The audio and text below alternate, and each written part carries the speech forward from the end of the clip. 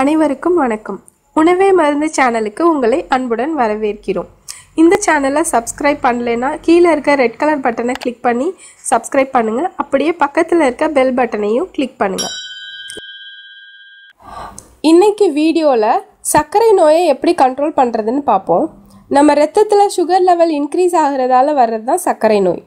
நம்ம food practice மூலமாகவே ஈஸியாக சுகரை கண்ட்ரோலாக வச்சுக்கலாம். இதோட ஒரு சில சிம்டம்ஸ் என்னென்னு பார்த்தோன்னா அடிக்கடி தாகம் எடுக்கும் அடிக்கடி யூரின் வரும் உடம்பு ரொம்ப டயர்டாகும் உடம்புல எங்கேயாச்சும் காயம் இருந்துச்சுன்னா அது சரியாகவே ரொம்ப நாள் ஆகும். இதெல்லாம் காமன் சிம்டம்ஸ் இந்த சிம்டம்ஸ் எல்லாம் இருந்தால் உடனே சுகர் லெவல் செக் பண்ணுறது நல்லது. இந்த சுகர் லெவலை கண்ட்ரோல் பண்ணுறதுக்கான சில வீட்டு மருத்துவ குறிப்புகளை பார்ப்போம். ஃபஸ்ட்டு சுகர் கண்ட்ரோல் பண்ணுறதுக்கு பாகக்காய் ரொம்பவே ஹெல்ப்ஃபுல்லாக இருக்குது டெய்லி காலையில் பாகக்காய் ஜூஸ் குடிச்சிங்கன்னா சுகரை கண்ட்ரோல் பண்ணலாம். கொஞ்சம் கஷ்டம்தான் பட் ட்ரை பண்ணுங்கள் அடுத்து சுகர் பேஷண்ட் சாப்பிடக்கூடிய ஃப்ரூட்ஸ் என்னென்னு பார்த்தா எலுமிச்சை சாத்துக்குடி ஆரஞ்சு. இந்த ஃப்ரூட்ஸில் சிட்ரிக் ஆசிட் இருக்குது இதில் விட்டமின் சி அதிகமாகவே இருக்குது இந்த ஃப்ரூட்ஸ் எடுத்துக்கிட்டிங்கன்னா சுகர் கண்ட்ரோலாக இருக்கும். சுகரால் வர்ற டயர்ட்னஸ் குறையும். அடுத்து சுகரை கண்ட்ரோல் பண்ணுற சக்தி வெந்தயத்துக்கு ரொம்பவே இருக்குது வெந்தயத்தை பொடி பண்ணி வச்சுக்கிட்டு அதை தண்ணிலேயே தண்ணிலையோ இல்லை மோர்லேயோ கலந்து குடிச்சிங்கன்னா சுகர் லெவல் கண்ட்ரோலாக இருக்கும்.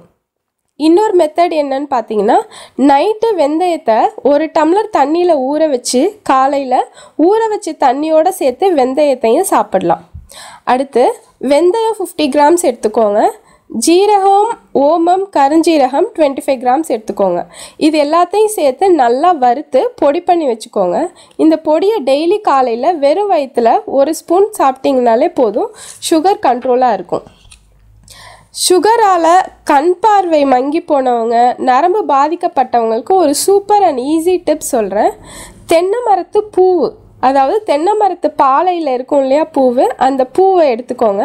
அந்த தென்னை மரத்து பூவை நல்லா காய வச்சு அதை பொடி பண்ணி வச்சுக்கோங்க.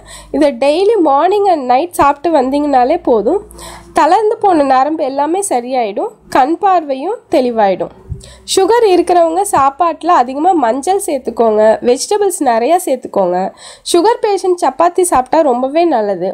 பட் சப்பாத்தி சாஃப்டாக இருக்கணும்னு நம்ம இப்போ கடையில் கண்ட கண்ட பிராண்ட் கோதுமை மாவு வாங்குறதுக்கு பதிலாக இப்போல்லாம் ரேஷன் கடையிலே கோதுமை கிடைக்குது. அதை வாங்கி அஞ்சு கிலோ கோதுமைக்கு கால் கிலோ கொ- கொண்டக்கடலைங்கிற ரேஷியோவில் சேர்த்து அரைச்சி அந்த மாவை சப்பாத்தி அந்த மாவில் சப்பாத்தி போட்டிங்கன்னா சப்பாத்தி ரொம்பவே சாஃப்டாக இருக்கும்.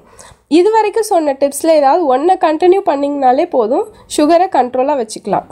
இந்த வீடியோ உங்களுக்கு பிடிச்சிருந்துச்சுன்னா லைக் பண்ணுங்கள் கமெண்ட் பண்ணுங்கள் ஷேர் பண்ணுங்கள் நன்றி வணக்கம்.